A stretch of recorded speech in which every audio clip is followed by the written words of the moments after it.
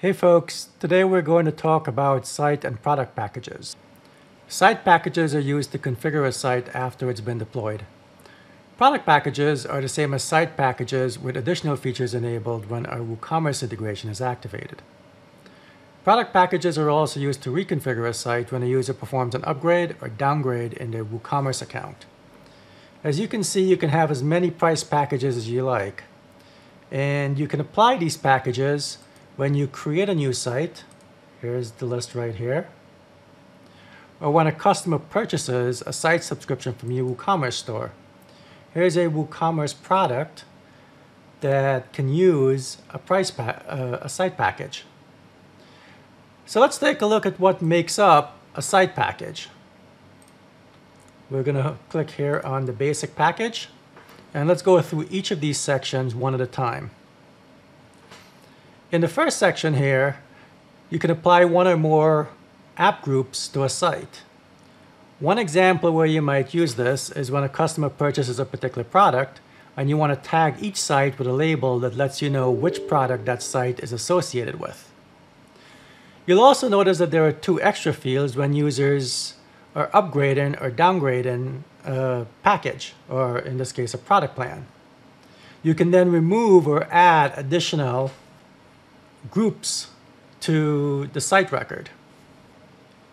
In the next section, you've got the ability to activate and deactivate plugins if they're already in the site. So if a site was installed from a template, usually because a customer purchased a site subscription in the WooCommerce store, you can activate any of the pre-installed plugins or themes. This is especially useful because it allows you to set up a single template site but activate a different subset of plugins and themes dependent on the product being purchased. You can create a different site package for each product and specify a different set of plugins and themes to be activated. On new sites, that is sites that doesn't have anything else installed, you can designate which plugins to install on that new site. You can pull plugins from WordPress.org or you can pull them from a URL as long as that URL resolves to a plugin file that's a plugin.zip. On the flip side, you can also choose to deactivate plugins. Again, this is useful when the customer is changing a subscription plan. If they're downgrading, you might want to deactivate premium plugins. Or if they're upgrading, you might want to activate, deactivate certain plugins while activating others you might want to deactivate, say, the uh, free plugin for uh, something like SEO and the premium plugin published by the same author. That's just a simple example for, for an upgrade. Downgrades are obviously more uh, direct because when you downgrade, there's a good chance you don't want customers to have access to certain premium plugins. Just as with plugins, you can install themes from wordpress.org or from a URL. And this is, a, again, this is especially useful for news sites.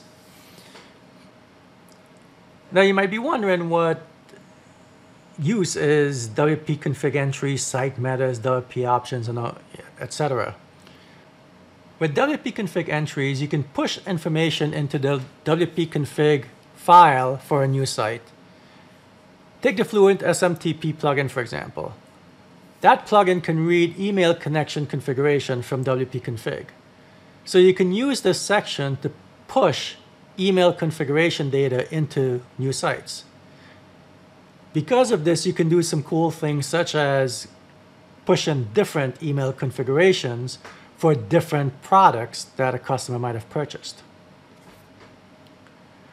Site metas are a little bit different because site metas are not stored on the new site, it's stored in the record that WP Cloud Deploy keeps that references the new site.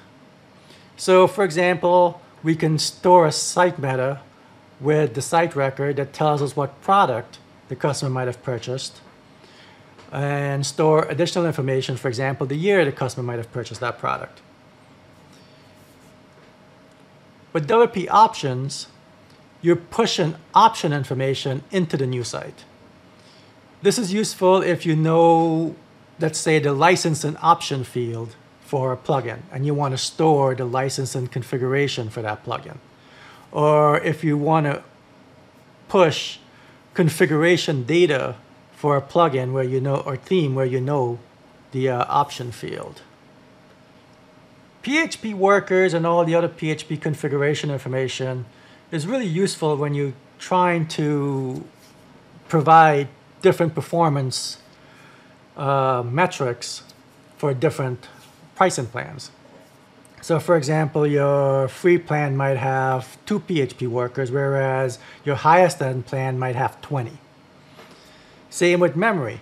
Your lowest end plan, your free plan might have 64 megabytes of memory, whereas your highest end plan might be allowed one gigabyte of memory. The miscellaneous area allow you to configure certain um, plugins and themes for which we add special support. Logtivity, for example, is used to store logs at offsite. So you can push WordPress actions into an offsite log. So no matter what happens to your WordPress site, those logs and that historical activity is stored where no one else can get to it. Authentication is useful when you've created your site based on a template site. Again, very useful when customers have purchased a site subscription. Your template site can have HTTP authentication enabled to prevent outside users from accessing it. But once it's copied over to a new site for a customer, you want to disable that. And of course, you know, you have options for things like backups and delete and debug logs that are present in the template site, but you don't want to have copied over to the customer site. The last section in product plans are these bash script hooks. There's a lot you can do with product plans, but obviously you can't do everything. So you're allowed to pull remote bash scripts and run them after the new site is configured. So with these bash scripts, you can do things like um, import data into a database or do additional configuration for plugins that have a WP CLI interface. So overall, you can see, hopefully you can see that these product and site plans are really, really powerful. They're, they're useful when you're creating new sites for yourselves, but they're really, really useful when you're creating sites for customers or when customers are doing self-service purchases from your WooCommerce store.